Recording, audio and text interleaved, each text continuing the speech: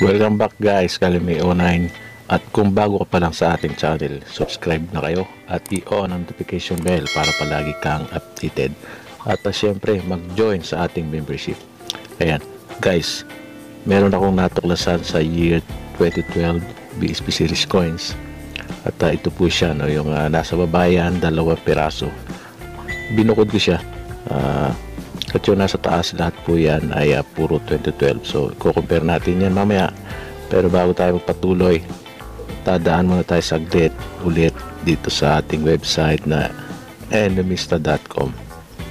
Bago natin ituloy, no, kikilatisin natin mabuti at sana hindi ako nagkakamali. At kung uh, mapapatunayan natin yan na maaring wala pang record dito sa Nemista yung uh, ating natuklasan na Prost.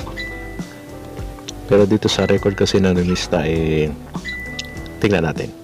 Punta muna tayo sa kanyang year na 2012.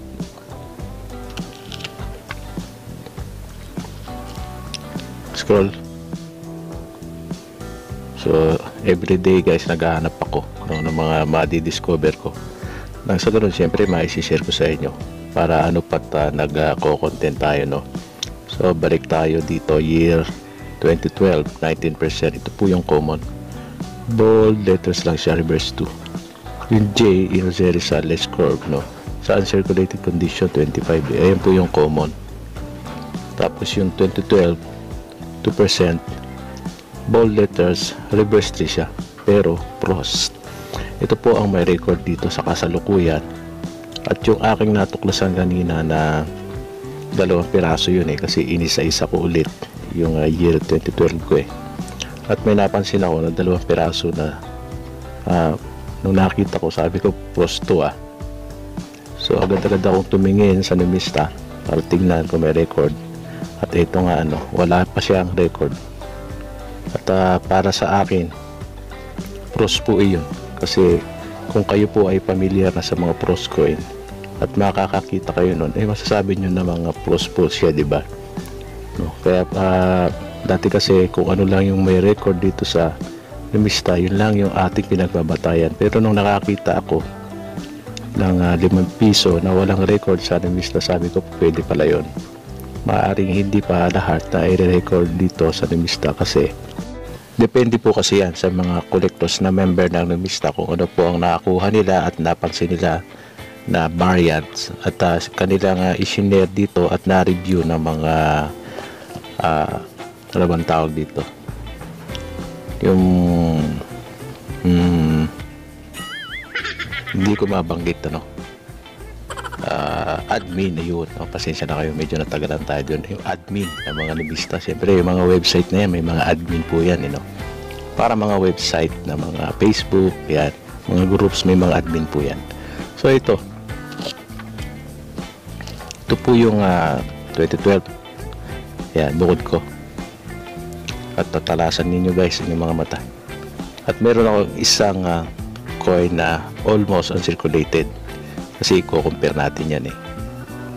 Diyan mapa ayan ang pagbabasihan natin yung almost uncirculated na nilagay ko sa gitna. At yung uh, sinasabi ko nga frost or uh, semi-frost hindi siya ganun ka-frost katulad ng mga 2015 no? Ayan so tignan nyo mabuti. Kasi itong mga pros eh kakaiba po ang uh, mga kinangan niyan eh. Oh, nakikita niyo yung reflection ng dalawa. Compared doon sa gitna.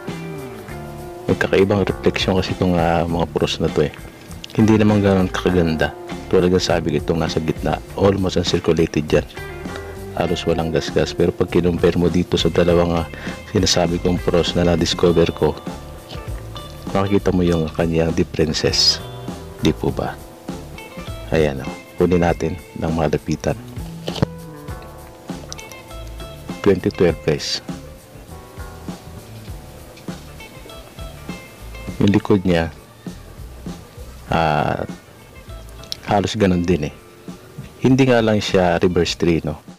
Pero siya po ay uh, pros kaya kung ipopost ko ito sa Animista isi-share ko doon ang uh, ibibigay ko dito nga title is um, reverse reverse 2 pros ayan So, pag naipos ko yan doon, syempre, re-reviewin nila yan eh. Ayan, oh. Kung mapapansin nyo naman guys, hindi naman talaga siya uncirculated, pero yung nagdala sa kanya, yung kanyang pagiging pros. Ayan. So, papasadahan pa rin natin ito ng ating ah, super zoom. 'Di ba? Ah, kailangan magagamit natin yan. Ayan siya guys. So, i-zoom natin. Zoom. Oh. Tingnan nyo naman, di ba? Yung kanyang ah, surface, hindi naman ganyan ang, ang ah, nikilado. Yung mga common coin na uncirculated na ating makikita, hindi ganyan. Iba yun, ibang kinang nun. Kaya nga, sabi ko kanina, pros talaga to eh. Kaya ay talaga ipaglalaban natin yan kasi kung tayo nga po ay pamilyar na sa mga pros coin, especially itong mga BSP series coins at uh, NGC kasi nga may mga pros din sa NGC di po ba? Ayan. So zoom natin zoom natin. Ayan o oh. kita naman po. Nga lang po ah, hindi siya reverse 3 no? Reverse 2 lang siya. Pero pros ang kanyang reverse. So ayan ano pong masasabi ninyo guys kaya tulad ng dati, comment kayo. Siyempre kailangan ng inyong opinion dito. Especially yung mga nakakaintindi na po.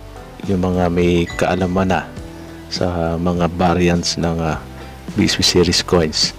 Importante po yan at siyempre kailangan ko ng inyong opinion nang sa ganun eh uh, humihingi din ako ng uh, mga opinion nyo para nagkakaroon po tayo ng karagdagang mga idea about dito sa mga coin na ating kinokollect.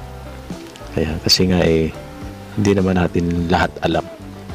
Kaya nga tayo ay nag uh, ng research, nagko-collect tayo para makatagpo tayo ng mga coin na ating ida ating idadagdag sa ating mga koleksyon. At yung mga bago lang dito sa ating channel, subscribe na po kayo para lagi kayong updated at siguradong may matututunan naman kayo sa pagko-collect ng mga BSP series coins. At kahit sa mga old coins nagre-review din tayo ng mga old coins pag meron tayong hawak niyan. So until next time guys maraming maraming salamat po sa inyo lahat. God bless you all guys. I'm out